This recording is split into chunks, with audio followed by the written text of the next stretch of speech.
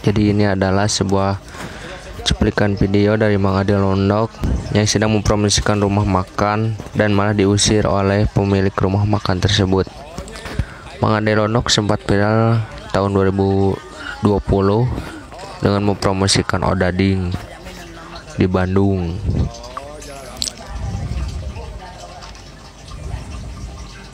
Mang Ade pun bertemu dengan pemilik rumah makan dan Mang Ade pun malah diusir.